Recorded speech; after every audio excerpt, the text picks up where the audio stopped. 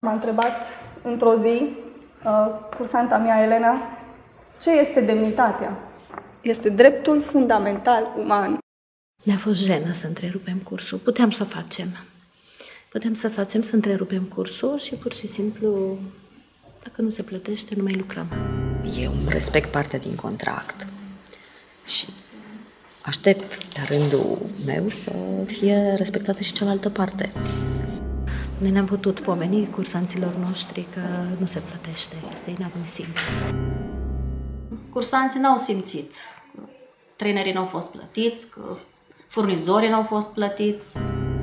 Trebuia aprovizionată materia primă, oamenii trebuie plătiți, serviciile trebuie achitate la timp, acolo nu se așteaptă, furnizorii, adică utilitățile trebuie achitate, iar asta înseamnă că ea trebuie să facă rost de altundeva bani și uh, erau niște resurse serioase investite în aceste mase de prânz. Și în acest, uh, în acest fel este ea afectată și cam greu se descurcă cu cash flow-ul. Încearcă să facă rost de altundeva uh, de bani. Oamenii trebuie să și trăiască și pentru asta au nevoie de bani. Mi-ar fi fost mult mai bineveniți când am născut, de exemplu. Faci lucruri de calitate, dar în același timp trebuie să fii sigur că vei primi răsplata, să spunem, nu? Sau uh, vei uh, primi ceea ce este stipulat într-un contract, de fapt. Deci o lună aștept, aștept două luni, dar deja în a treia lună poate spun că bine, mulțumesc mult, am și eu uh, o familie de întreținut, uh, contează pe mine copilul meu, soțul sau soția și oricât de mult uh, contează pentru mine ceea ce fac și oamenii cu care lucrez, dar uh, nu pot să-mi țin familia fără, fără pâine. Și de aici am pregătit ultima lecție pentru ei, astăzi ultima.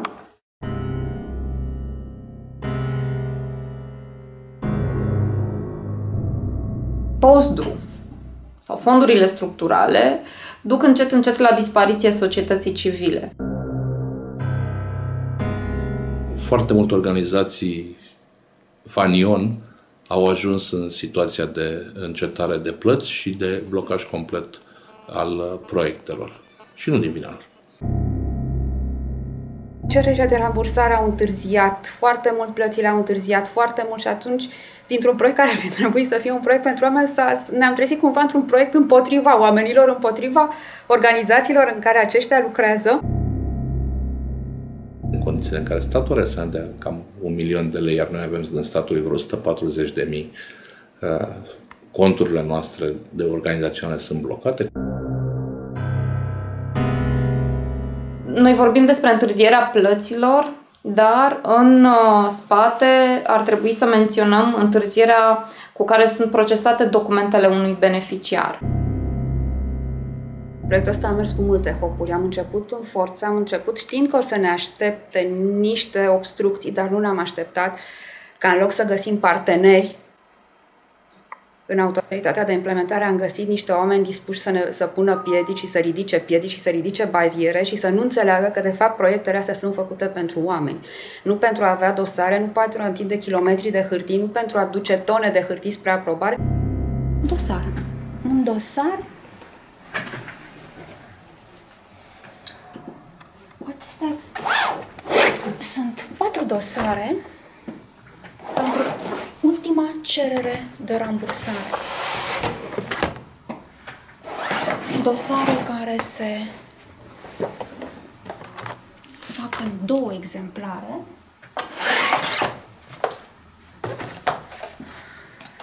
Toate sunt uh, copii conforme cu originalele, deci fiecare uh, dosar trebuie luat, fiecare filă trebuie luată la mână, semnată, ștampilată, pusă ștampilă conform cu originalul. Absolut tot ce este aici sunt documente care merg la verificat pentru a fi declarate eligibile cheltuielile noastre pe proiect. 30% activități, 70% hârtie.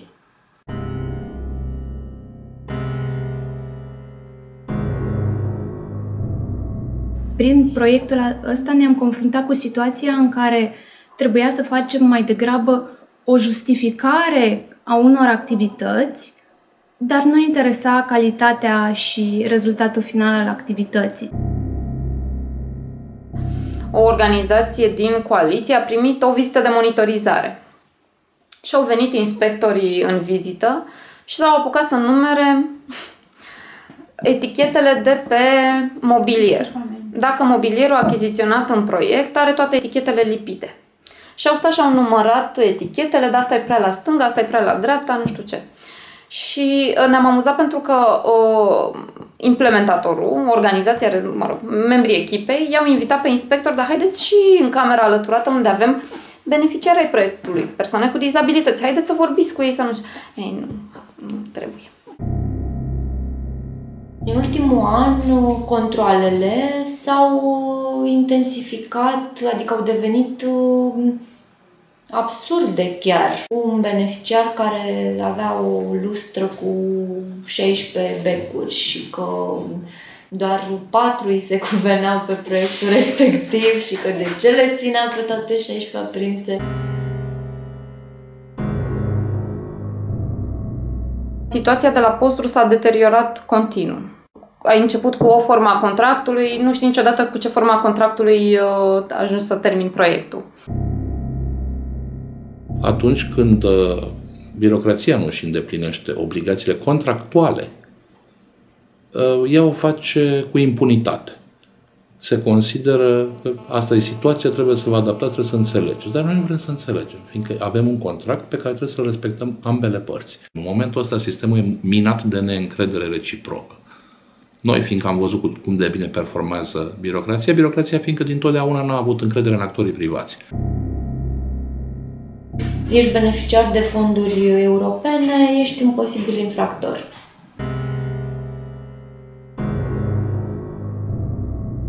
Bineînțeles că toată lumea dă vina guvernarea actuală pe guvernarea trecută, actualul director pe directorul trecut și tot așa, beneficiarii pe autoritatea, autoritatea pe beneficiari.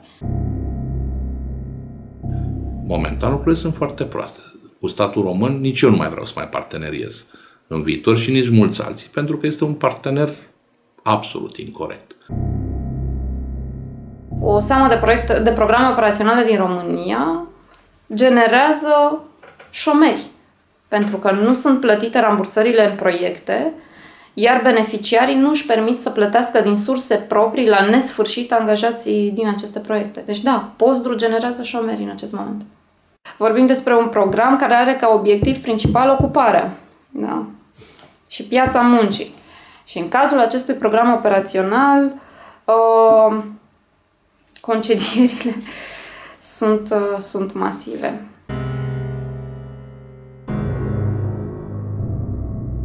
Suntem acea forță din societate care modernizează România și merităm respectul instituțiilor care guvernează uh, aceste fonduri, merităm sprijinul lor și ni-l cerem.